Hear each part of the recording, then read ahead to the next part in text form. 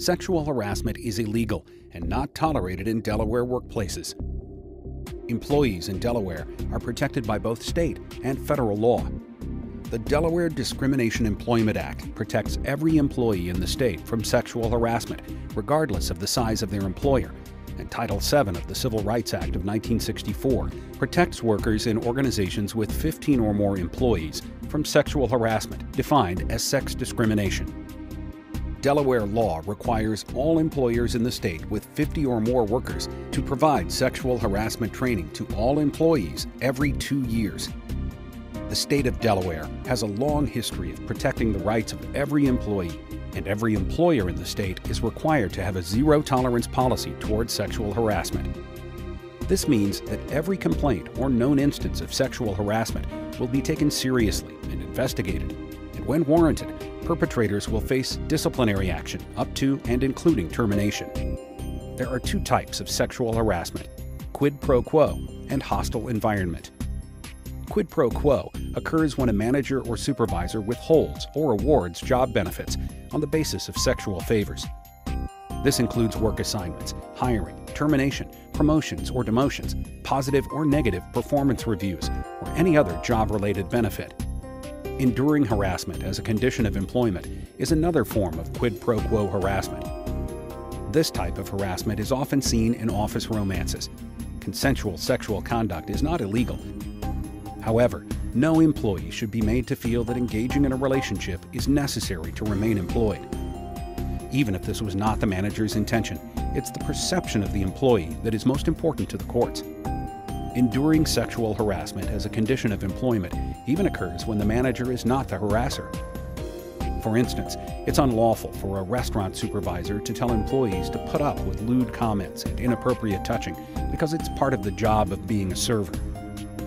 Just one incidence of quid pro quo harassment is illegal.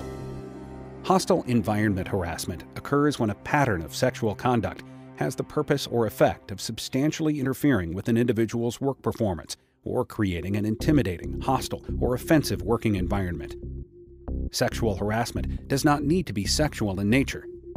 A pattern of harassment, discrimination, or bias based on gender, gender identity, transgender status, and gender dysphoria are covered under sex discrimination, regardless of whether the harassment was sexual in nature. Delaware specifically prohibits discrimination on the basis of marital status, sexual orientation, and gender identity or expression. Additionally, employees are protected against harassment or discrimination based on pregnancy, childbirth, or medical conditions related to pregnancy or childbirth. Hostile environment sexual harassment can occur between employees of the same sex, between employees of different sexes, and between employees of any rank or position in an organization. Harassing jokes, comments, or other behavior can create a hostile work environment even if they aren't directly targeted at the individual making the harassment complaint. Delaware law specifically provides protections to unpaid interns, job applicants, joint employees, and apprentices. Additionally, harassment can be perpetrated by third party employees, like vendors, facility security workers, visitors, and even customers. Sexual harassment can occur anywhere that employees represent their organizations, including work parties, dinner with clients, conferences, trade shows, sales calls, and charity events. The courts use the reasonable person standard when determining if offensive conduct is illegal. In other words, would a reasonable person find the behavior severe enough to substantially interfere with an individual's work performance or create an intimidating, hostile, or offensive working environment? The fact is that most sexual behaviors, when they are continuous and unwanted, or particularly severe, meet this standard. The safe way to avoid sexual harassment is to avoid these behaviors entirely. The following acts are illegal, potentially illegal, or have been listed as part of successful litigation in Delaware rape, sexual battery, molestation, or attempts to commit these assaults, threats, intimidation, or physically blocking a person's movement or ability to work, vandalism of personal or professional property, or other sabotage of an individual's work or ability to do his or her job effectively intentional or unintentional physical conduct, which is sexual in nature, such as touching, pinching, patting, grabbing, or either brushing against or poking another employee's body. Requests for sexual favors accompanied by implied or overt threats concerning the victim's performance evaluation, a promotion, or other job benefits. Subtle or obvious pressure to engage in unwelcome sexual activities, unwanted flirting, or repeated requests for dates. Sexually oriented gestures, noises, remarks, jokes, or comments about a person's physical attributes, sexuality, or sexual experience, which are sufficiently severe or pervasive to create a hostile work environment. Yelling, name calling, and bullying. Long stares and sexually suggestive looks. Gossiping or spreading rumors about sexual topics or engaging in sexual conversations that are overheard by others displaying or posting pictures, posters, calendars, graffiti, objects, promotional material, reading materials, or other materials that are sexually demeaning or pornographic, sending sexually explicit texts, emails, or instant messages, viewing sexually based websites, and the use of social networking sites for sexually based messages, pictures, or videos.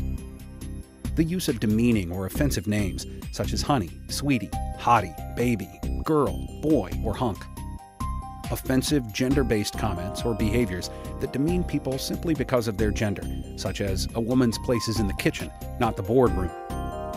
Stereotyping people because they don't conform to a gender stereotype, or because they work in a job that has been traditionally held by another gender.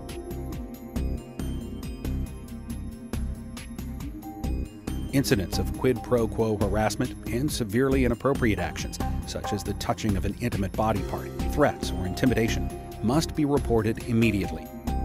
For less serious conduct, it is helpful, but not required, to let harassers know that you are offended by their conduct want it to stop.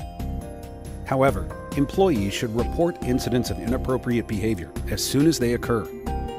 All sexual harassment complaints will receive a prompt and thorough investigation and the perpetrator or perpetrators will be told to stop immediately.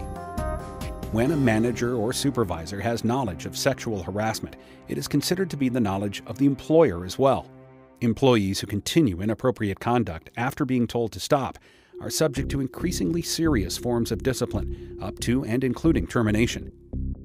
If a complaint is ignored, employees are encouraged to report the harassment to another person in the organization, as outlined in the sexual harassment policy.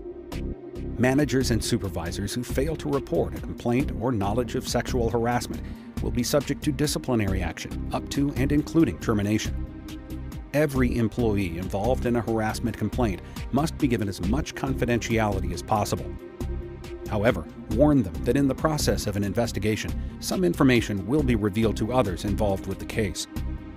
Although some information must be divulged in the process of investigating complaints, confidentiality is guaranteed to the greatest extent possible. If it's determined that harassment occurred, prompt and effective corrective action must be taken. Remedies for the victim may include reinstatement, wages for unpaid time off, or restoration of sick leave and vacation time. If job benefits were lost because of the harassment, they should be awarded. For example, if a victim was passed over for a promotion due to harassment, an appropriate remedy would be receiving the promotion and back pay equivalent to what would have been earned in the new position. In many cases, employers must make changes to policies and procedures to ensure that the harassment does not reoccur. In addition to filing a complaint with their employer, employees have the right to file a complaint with the Delaware Department of Labor Office of Anti Discrimination, or the U.S. EEOC, within 300 days of the harassment. A complaint must be filed with the EEOC before filing a lawsuit in federal court. Sexual harassment involving the physical touching of an intimate body part, coerced physical confinement, and or sex acts may be a crime, and the local police department should be contacted.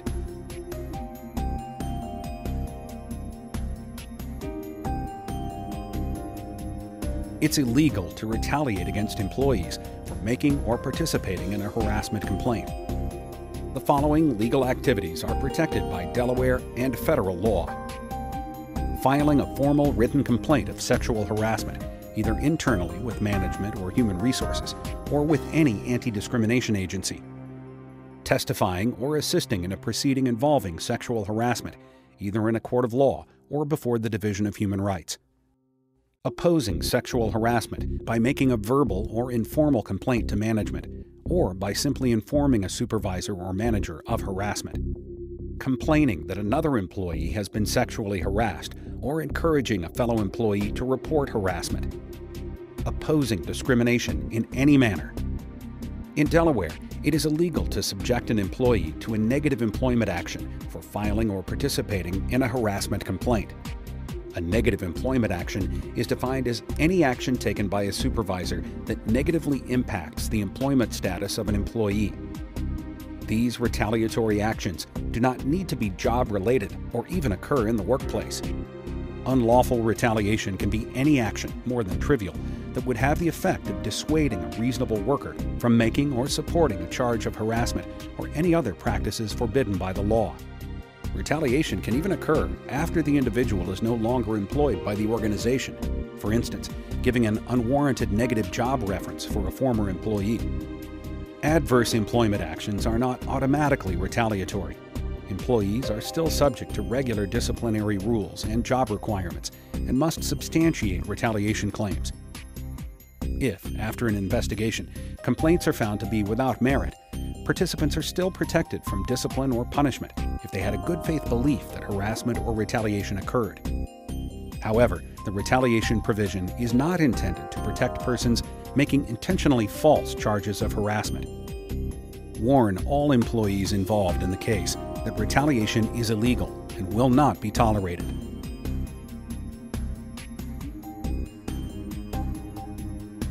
Both harassment and retaliation can result in disciplinary actions, including written warnings, suspension, demotion, and termination. Sexual harassment often affects future career advancement and may even hamper the ability to be hired by another organization. The loss of personal reputation and trust with coworkers, friends, and family can be devastating and life altering. What can you do to prevent sexual harassment? It's simple Leave sexually based behaviors at the door. Treat everyone with respect. Speak up when you witness harassment. Every employee deserves a safe, comfortable environment at work, a workplace free of harassment and fear, and full of respect. It's up to everyone to do their part in preventing harassment.